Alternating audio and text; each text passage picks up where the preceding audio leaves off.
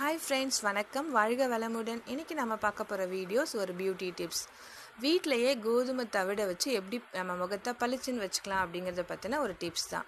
இதுக்கு வந்து நான் கோதுமை மாவை நல்லா ஜலிச்சு எடுத்திருக்கேன். அதுலேருந்து ஒரு ஸ்பூன் தவிடு எடுத்துக்கிட்டேன். அது கூட வந்து பால் ஏடு அப்படி இல்லைன்னா பால் எதை வேணால் நீங்கள் மிக்ஸ் பண்ணிக்கலாம். அதை நல்லா கலந்து ஒரு பத்து நிமிஷம் அதை வந்து ஊற வச்சுருங்க.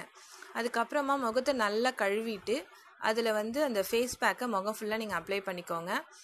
முகத்தோட கழுத்து பகுதியும் சேர்த்து நீங்கள் அப்ளை பண்ணிக்கோங்க. முகத்தில் வந்து எங்கெல்லாம் உங்களுக்கு டெட் செல்ஸ் வந்து அதிகமாக இருக்குன்னு தோணுதோ அந்த இடத்துலலாம் கொஞ்சம் திக் பேக்காக போட்டுக்கோங்க.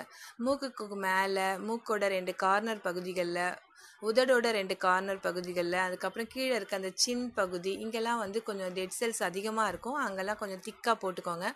போட்டுட்டு ஒரு முக்கால் பாகம் காயிற வரைக்கும் அதை நல்லா காய வச்சுடுங்க. அது முக்கால் பாகம் காஞ்சதுக்கப்புறமா அதை நல்லா வந்து ஸ்க்ரப் மாதிரி நல்லா தேய்ச்சி விடுங்க. கொஞ்சமாக கையில் பால் அப்படி இல்லைன்னா தண்ணி கூட நீங்கள் தொட்டுக்கலாம். தொட்டுட்டு நல்லா அது ஸ்க்ரப் மாதிரி நல்லா முகம் ஃபுல்லாக தேய்ச்சிட்டு அதுக்கப்புறமா நல்ல ஜில் தண்ணி வச்சு நல்லா முகத்தை வாஷ் பண்ணிவிடுங்க ஸோ இப்போ பார்த்தீங்கன்னா இந்த மாதிரி வாரத்துக்கு வந்து ஒரு ரெண்டு நாள் செஞ்சால் போதும்.